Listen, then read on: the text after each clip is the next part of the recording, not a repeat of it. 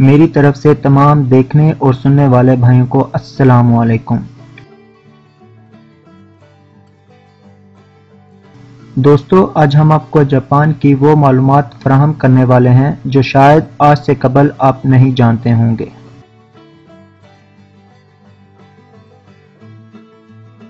آگے بڑھنے سے پہلے میری تمام دیکھنے والوں سے درخواست ہے کہ ہمارے چینل کو سبسکرائب کر لیں۔ تاکہ نئے آنے والے ویڈیوز بآسانی آپ تک پہنچتے رہیں۔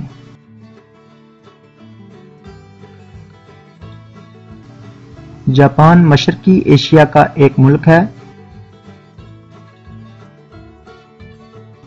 جس کا کل رقبہ تین لاکھ ستر ہزار نو سو باسٹھ مربع کلومیٹر ہے۔ رقبے کے لحاظ سے جاپان دنیا کا اکاسٹھواں بڑا ملک ہے۔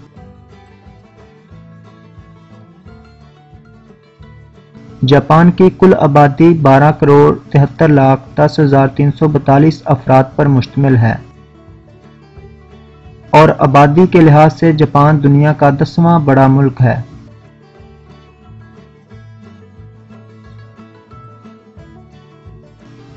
جاپان کا دارالحکومت ٹوکیو ہے۔ ٹوکیو جاپان کا ترقی یافتہ شہر ہے۔ ٹوکیو کا کل رقبہ دو ہزار ایک سو اٹھاسی مربع کلومیٹر ہے اور اس کی کل آبادی بانوے لاکھ باسٹھ ہزار چھیالیس افراد پر مشتمل ہے۔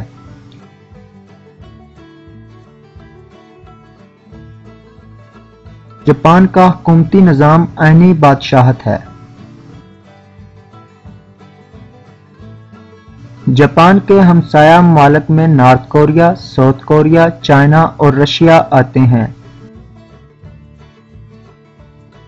جاپان میں بولی جانے والی زبان جاپانی ہے اور اس کی سرکاری کوئی زبان نہیں۔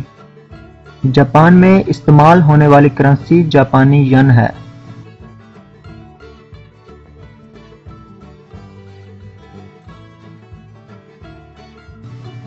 اگر جاپان میں رہنے والے لوگوں کی نسل کے لحاظ سے گروہ بندی کی بات کی جائے تو اس میں اٹھانوے اشاریہ پانچ فیصد جاپانی، زیرو اشاریہ پانچ فیصد کورین، زیرو اشاریہ چار فیصد چائنی، زیرو اشاریہ دو فیصد فلپائنی، زیرو اشاریہ دو فیصد برازیل، زیرو اشاریہ ایک فیصد ویتنامی اور دوسرے دیگر تمام زیرو اشاریہ ایک فیصد ہیں۔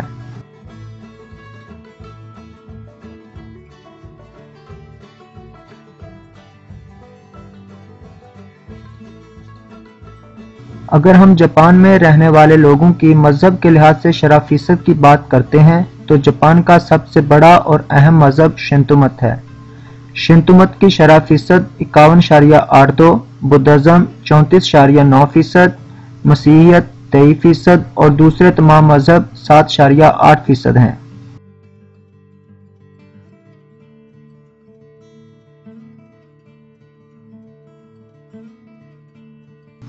جاپان میں مذہب اسلام کم تعداد میں موجود ہیں، یہاں مساجد موجود ہیں، جن میں سے سب سے پرانی مسجد کوبے ہے۔